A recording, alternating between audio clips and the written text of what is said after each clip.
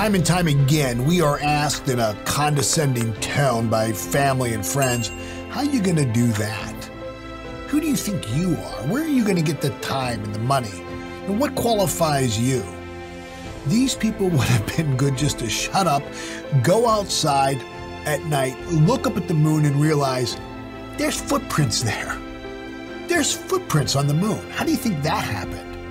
They would have been well served to know that the Wright brothers didn't have a pilot's license, that Salk didn't start out with the cure for polio. All there was in the physical world was disease when Salk started.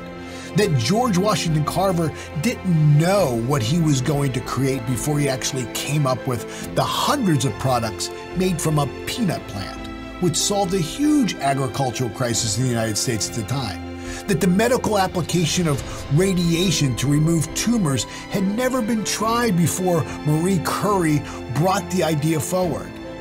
She didn't know that it would work, but she still brought it forward.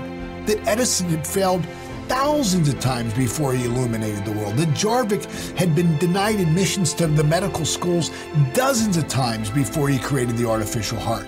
That hundreds of thousands of soldiers had died in war simply because of blood loss.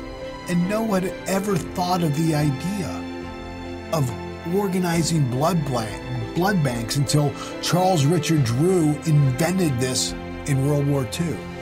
And aren't you glad they didn't think from the facts as they appeared, from what everybody else said couldn't be done? See, the truth wasn't in the appearance of any of those things. And I'm here to tell you anything will work.